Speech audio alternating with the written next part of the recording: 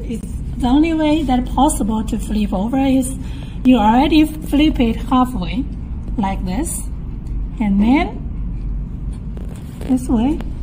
So this is the only possible way to flip over. And while she's still sucking. But this makes it almost impossible because when it flips over, the nipple will get very difficult to get into the mouth.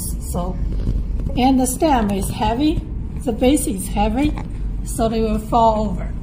Let's try it again. Flip it halfway and put it in the baby's mouth. Start sucking, baby. Yeah, you love that. Okay.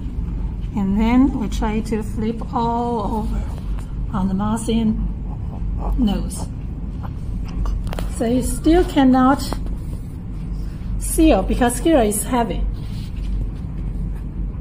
And the nipple is very difficult to get into her mouth.